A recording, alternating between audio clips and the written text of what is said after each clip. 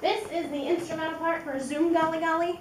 This is a fourth grade piece from Israel that we will be doing for our concert.